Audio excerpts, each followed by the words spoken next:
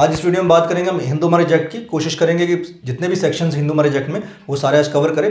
देखिए, पहली बात, ये लॉ इनेक्ट हुआ था by the parliament in the six year of republic of India पहला सेक्शन कहता है शॉर्ट टाइटल एंड एक्सटेंट यही है पहला section short title and extent इसके अनुसार, इस अधिनियम को कहा जाएगा हिंदू मैरिज एक्ट 1955 और एक्सटेंट कहाँ तक होगा? तो इसका सबसेक्शन टू कहता है it extend to whole of India except ये जे के को छोड़ के it applies to all Hindus domiciled in the territories to which this act extend who are outside the set territories मतलब जितनी भी Indian territories है, उन सब में ये लागू होगा।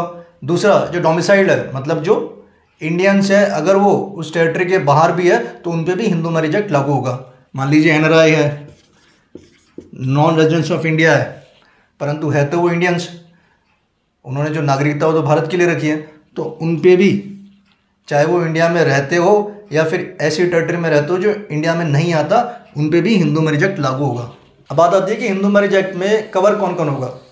तो ये बताया गया सेक्शन टू जिसमें कहा गया एप्लीकेशन ऑफ़ एक्ट मतलब किन किन पे एक्ट एप्लीकेबल होगा।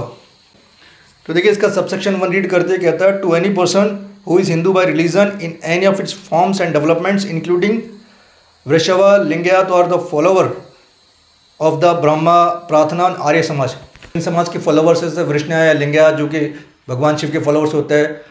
देन आपका आता आर्य समाज, जो आपके दयानंद सरस्वती जी ने जो समाज की स्थापना की थी, जिसने काफ़ी समाज सुधार के काम किए थे, जैसे कि गर्ल चाइल्ड एजुकेशन हो गया विडो रिमैरिज हो गया तो इन सब के समाज के जो फॉलोअर्स है, वो सब इस हिंदू मैरिज एक्ट में कवर होंगे। सेकेंड सबसेक्शन बी कहता है to any person who is Buddhist Jainas Sikh by religion कोई भी व्यक्ति जो धर्म से, चाहे बुद्ध हो, जैन हो या फिर सिख हो ध्यान रखिए कि सिखों को भी हिंदू मैरिज एक्ट के अंदर ही रखा गया है।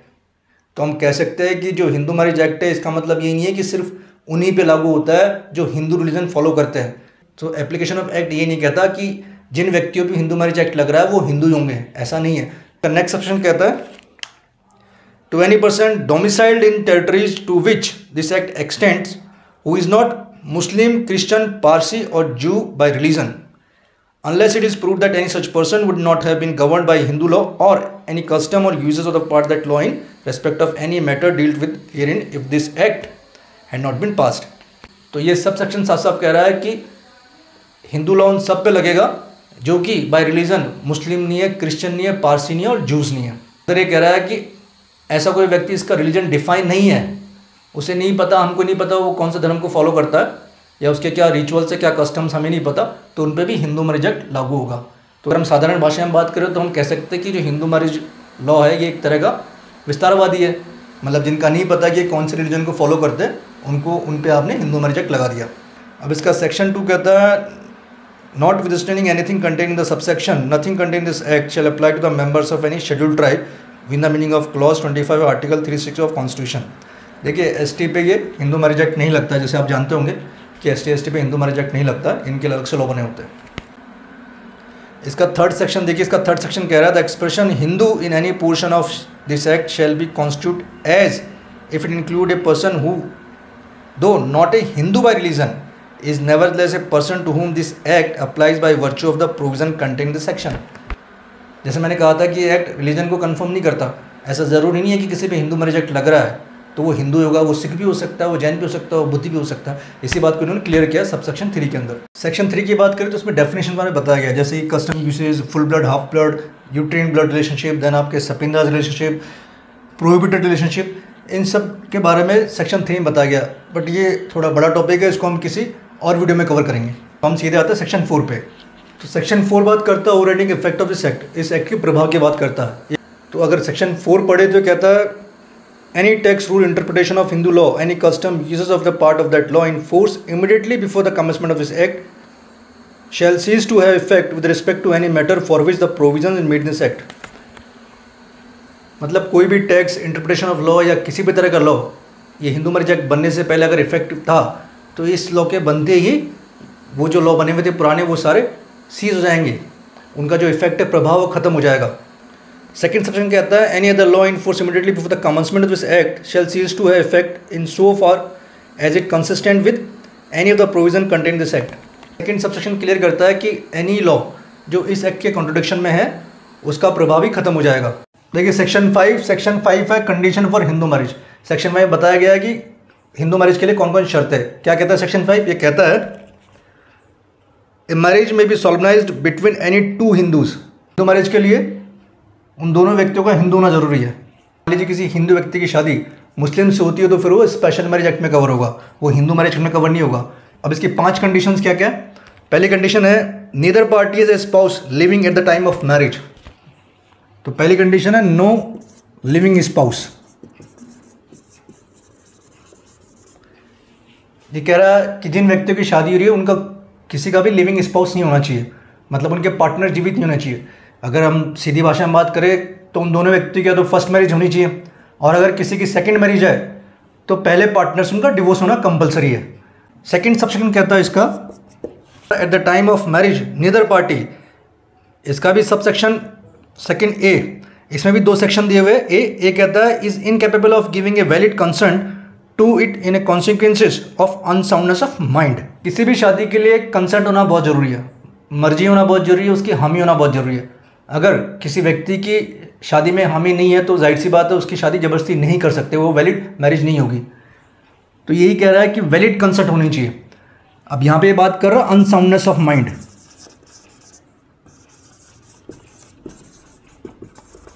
अगर किसी व्यक्ति जो इनकेपेबल है वैलिड कंसर्ट देने का because of unsoundness of mind उसका जो विकृत बुद्धि है या फिर कह सकते हैं कि विकास नहीं हुआ दिमाग का या हम कह सकते हैं कि उसका दिमागी विकास नहीं हुआ तो ऐसी परिस्थिति में ज़ाहिर सी बात है वो वैलिड कंसेंट देने में इनकेपेबल है, उसको नहीं पता वो क्या कर रहा है तो ऐसे व्यक्ति की शादी भी नहीं मानी जाएगी।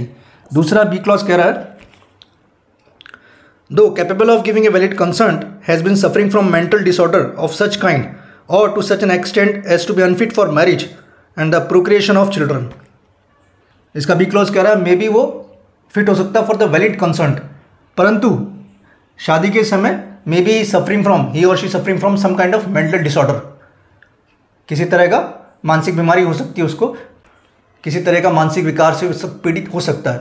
तो ऐसी परिस्थिति में वो शादी के लिए अयोग्य है। तो पहली कंडीशन थी no living spouse second condition में दो क्लॉज थे एंड बी पहला क्लॉज था incapable of giving valid consent because of unsoundness of mind इसका बी क्लॉज था may be capable of giving valid consent but he और she में भी suffering from some kind of mental disorder तो ऐसा व्यक्ति भी अयोग्य माना जाएगा। इसका क्लॉज सी बी है वो कहता है has been subject to recurrent attack of insanity insanity से मतलब यहाँ पागलपन के दौरे मे बी वो अनसाउंड माइंड का ना हो, कोई मेंटल डिसऑर्डर भी ना हो, लेकिन हो सकता है कभी कभी उसमें पागलपन के दौरे पड़ते हो तो ऐसा व्यक्ति भी अयोग्य करार दिया गया है।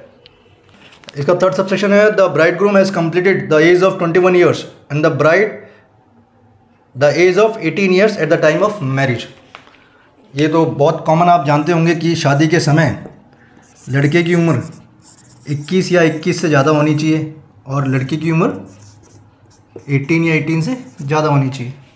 तो तीन कंडीशन बात हो गई। नो लिविंग स्पाउस सेकेंड है incapable of valid consent in case unsound unsoundness of mind है, अगर वैलिड कंसर्ट दे सकता बट मेंटल डिसऑर्डर सफ़र कर रहा है। इसमें सी क्लॉज था। इनसेनिटी अगर पागलपन के दौरे आते हैं, फिर इसमें थर्ड क्लॉज आया। इसमें बताया कि लड़की की उम्र कम से कम इक्कीस और लड़की की अट्ठारह साल होनी चाहिए। फोर्थ सेक्शन कहता है the parties are not within the degree of prohibited relationship unless the custom usages governing each of them permits of marriage between the two मैंने कहा था प्रोहिबिटेड रिलेशन की हम बाद में बात करेंगे। अभी आप ये समझ लीजिए कि प्रोहिबिटेड रिलेशंस में नहीं होने चाहिए।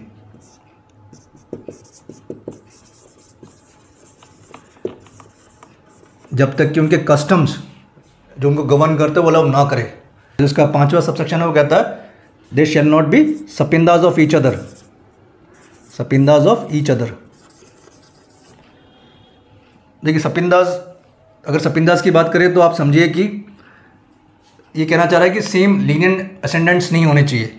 मान लीजिए, लड़का और लड़की की बात करें, इनके फादर मदर फादर और मदर तो ये असेंडेंट मतलब ऊपरी लाइन की बात हो रही है अपर जनरेशन की बात हो रही है।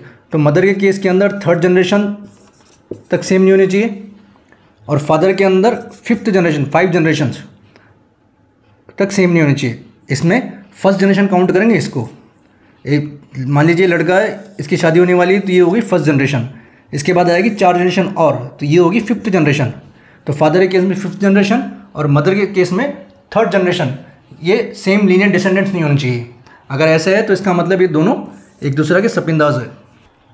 अब आता है सेक्शन सेवन पे। ये कहता है ceremonies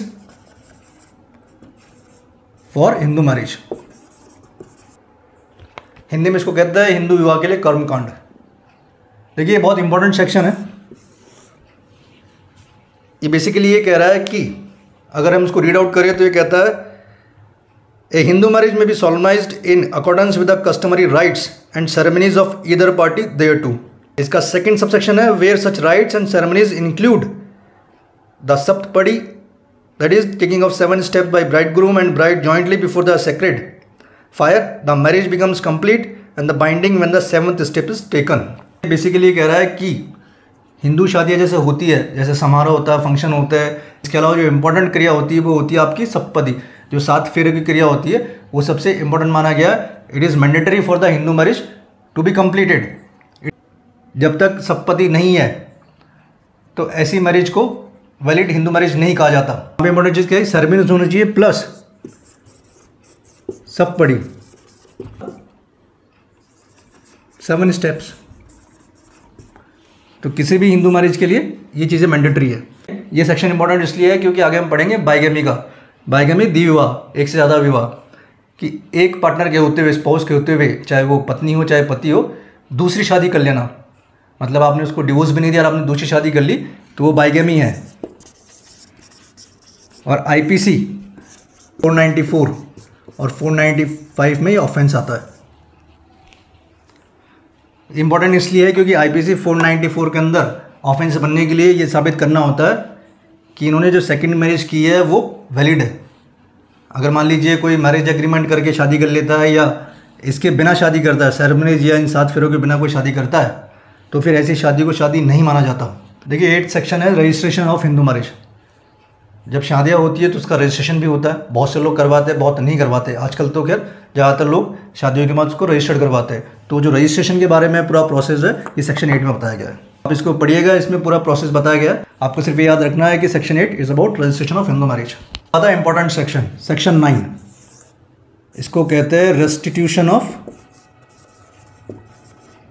कॉन्जुगल राइट्स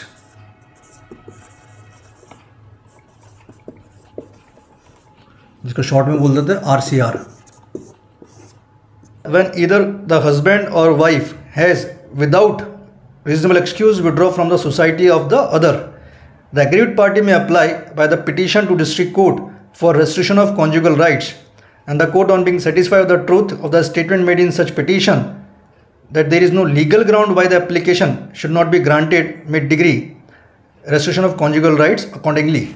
ये कह रहा है जब पति या पत्नी दोनों में से कोई भी विदाउट एनी वैलिड रीज़न अगर उसकी कंपनी मतलब उसके साथ नहीं रहते उसको छोड़ के चले जाते हैं विदाउट एनी वैलिड रीज़न तो जो अदर पार्टी तो जो अपोजिट पार्टी है, मान लीजिए मान लीजिए वाइफ यहाँ पे हस्बैंड की कंपनी से चली गई हस्बैंड को छोड़ के चली गई। मतलब हस्बैंड का हाउस छोड़ के चली गई। जनरली ये होता है कि वाइफ जो होती है वो पति के साथ पति घर में रहती है। अब यहाँ पे मान लीजिए पत्नी उसके घर को छोड़ के चली गई। तो यहाँ पे हस्बैंड सेक्शन नाइन की एप्लीकेशन लगा सकता है डिस्ट्रिक्ट कोर्ट में फैमिली कोर्ट के अंदर, जिसे कहते हैं आरसीआर की application registration of conjugal rights अभी पिटिशन लगने के बाद कोर्ट को देखना होता है कि अगर without any valid reason wife husband की कंपनी छोड़ के गई है तो फिर वो डिग्री पास कर सकती है in the favour of husband R की डिग्री आरसीआर की डिग्री का मतलब ये हो गया कि एक तरह से वाइफ को आदेश दिया गया कि आप पति के पास वापस आए। अगर आप फैमिली कोर्ट गए हो, आपने मुकदमे देखे तो वहाँ देखना आरसीआर फ़ाइल की जाती है सेक्शन नाइन के तहत। Tenth section is about judicial separation judicial separation नाम ही बता रहा है सेपरेशन बता रहा है कि हस्बैंड वाइफ का सेपरेशन जुडिशियली कोर्ट के थ्रू अब देखिए, कह रहा है इधर party to marriage whether solemnize before और after the commencement of this act may present a petition praying for a degree for judicial separation on any of the ground specified in subsection one of section thirteen and in the case of wife also on any of the ground specified in सब section two thereof as ground on which the petition for divorce might have been presented. देखिए, पहला subsection कह रहा है इधर party मतलब husband और wife दोनों में से कोई भी पिटिशन फ़ाइल कर सकता है। For what judicial separation on which grounds grounds की बात की गई इन्होंने? सेक्शन थर्टीन सेक्शन थर्टीन के सब सेक्शन वन के अंदर. देखिए सेक्शन थर्टीन बताया गया ग्राउंड फॉर डिवोर्स के बारे में। हम आगे पढ़ेंगे तो अभी आप ये ध्यान रखिएगा कि हस्बैंड और वाइफ दोनों के लिए एक तो ऑप्शन है सेक्शन थर्टीन में सब सेक्शन वन वाइफ के लिए स्पेशली सेक्शन थर्टीन के अंदर सब सेक्शन टू कुछ ग्राउंड्स दिए हुए, जो सिर्फ़ वाइफ को दिए जाते हैं फॉर डिवोर्स तो इन ग्राउंड्स पे हस्बैंड वाइफ कोई भी जुडिशियल सेपरेशन की पिटिशन कोर्ट में फ़ाइल कर सकते हैं। अब देखिए जुडिशियल सेपरेशन में होता क्या तो ये सबसेक्शन टू कह रहा है इसका where a degree for judicial separation has been pass it shall be it shall no longer be obligatory for petitioner to cohabit with the respondent अगर जुडिशियल सेपरेशन की डिग्री पास हो जाती है petitioner के फेवर में तो फिर वो ऑब्लिगेटरी नहीं है उसके लिए कि वो जो रिस्पॉन्डेंट है, उसके साथ रहे। पहली चीज़ तो नो ऑब्लिगेशंस तो यहाँ पे अगर पिटिशन हस्बैंड ने फ़ाइल की है और उनके फेवर में आती है जुडिशल सेपरेशन की डिग्री तो फिर हस्बैंड के लिए ऑब्लिगेटरी नहीं है कि वो वाइफ के साथ कोएबिट करे, साथ में रहे। तो section ten is about judicial separation कोई भी पिटिशन लगा सकता है हस्बैंड वाइफ दोनों में से। यहाँ पे कोई ऑब्लिगेशंस नहीं होगी। अगर अगर डिग्री पारित होती है तो no obligations for the petitioner to cohabit with respondent grounds की बात की गई थी वहाँ पे। सेक्शन थर्टीन के बारे में बताया गया था कि जो डिवोर्स के ग्राउंड होंगे, वही जुडिशियल सेपरेशन के ग्राउंड होंगे। अब देखिए, यहाँ से जो टॉपिक कवर होगा, वो होगा nullity of nullity and divorce ग्यारह की बात करें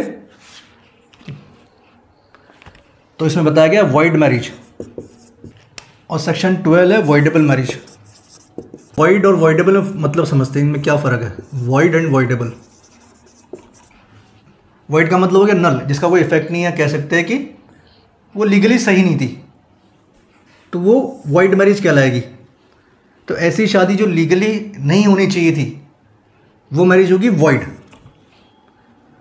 वॉइडेबल वो होती है जो लीगली सही नहीं है बट अदर पार्टी पे डिपेंड करता है, वो उसको वॉइडेबल डिक्लेयर कराना चाह रहा है कि नहीं चाह रहा। जो कानून की नज़र में वॉइड है, वो सेक्शन इलेवन के अंदर है।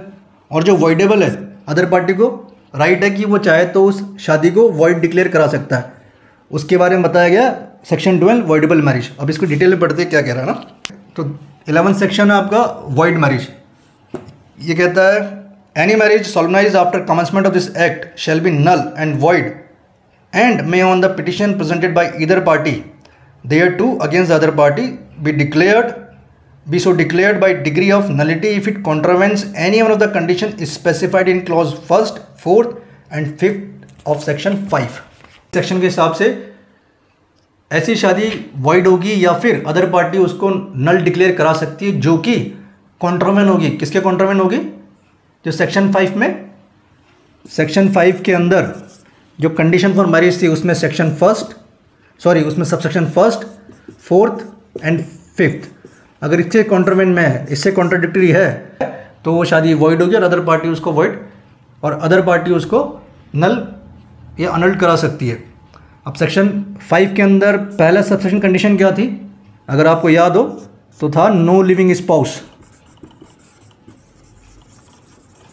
fourth condition आपकी थी प्रोहिबिटेड रिलेशंस वाली. और फिफ्थ में आपका था sapindas they shall not be sapinda to each other now come to section twelve that is voidable marriage इसका पहला सेक्शन कहता है any marriage solemnize whether before और after the commencement of this act shall be voidable and may be annulled by degree of nullity on the following grounds section ग्यारह के अंदर भी degree of nullity पास होती है और सेक्शन ट्वेल्व के अंदर भी डिग्री ऑफ़ नलिटी पास होती है। क्या ग्राउंड है सेक्शन ट्वेल्व के अंदर? इसमें पहला क्लॉज है that that the marriage has not been consummated owing to the impotence of respondent तो पहला इसमें इंपॉर्टेंस कारण बताया कि अगर अदर पार्टी की नपुंसता की वजह से वो मैरिज कंज्यूमेट नहीं होती, जो रिलेशंस बनने चाहिए, वो नहीं बन पाते तो ऐसी परिस्थिति के अंदर भी मैरिज वाइड कराने के लिए पिटिशन फ़ाइल की जा सकती है।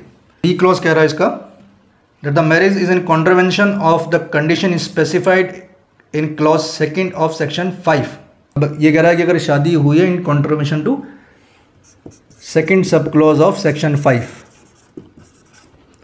इसमें सेक्शन फाइव में दो थे, आपको याद हो तो सेकेंड के अंदर ए और बी एक था आपका अनसाउंडनेस ऑफ़ माइंड और एक था आपका मेंटल डिसऑर्डर अगर मान लीजिए किसी से छिपा के व्यक्ति को पता नहीं है, सामने वाले व्यक्ति को और उसकी शादी ऐसे व्यक्ति से हो गई जो अनसाउंड माइंड या किसी प्रकार का मेंटल डिसऑर्डर है। और जब उसे पता चलता है इस बात का तो ऐसी परिस्थिति के अंदर भी वो उस शादी को अवॉइड करा सकता है। तीसरी सब तीसरा क्लॉज कह रहा है इसका the consent of the petitioner और where the consent of guardian in marriage of the petitioner was required under section five as it stood immediately before the commencement of Child Marriage Act 1978 and the consent of such guardian was obtained by force or by fraud as to the nature of ceremony देखिए, यहाँ पे बात की गई consent की। जैसे कि हमने सेक्शन फाइव में बात किया था कि कंसेंट बहुत ज़रूरी है। तो अगर यहाँ पे कंसेंट मान लीजिए गार्जियनिक कंसेंट ली गई है फोर्सफुली ली गई है या फ्रॉड से ली गई है फोर्सफुली मतलब डरा धमका के ली गई है, हथियार के दम पे ली गई है या फिर फ्रॉड से ली गई है। अगर इस तरह की कंसेंट ली गई है गार्जियन से, परिस्थिति के अंदर भी वो शादी वाइडेबल होगी। तो इसका डी क्लॉज कह रहा है that the respondent was at that time of the marriage pregnant by some other person other than the petitioner at the time of marriage अगर पिटिशन के अलावा किसी और व्यक्ति से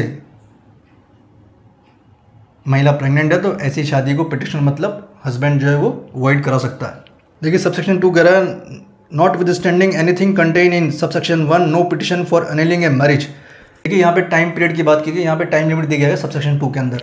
अगर किसी व्यक्ति को पता चलता है कि मेरे साथ धोखा हुआ है या मेरी शादी फोर्सफुली हुई है तो उसका भी एक टाइम पीरियड बताया गया है। एक साल के अंदर आपको पिटिशन फ़ाइल करनी होगी। हर क्लॉज के बारे में बात की थी, हमने ए एबीसीडी क्लॉज में बात की थी कि फोर्सफुली ऑप्टेन हुआ कंसेंट या फिर pregnant by some other person तो उन सब के लिए कुछ कंडीशंस बताई गई है।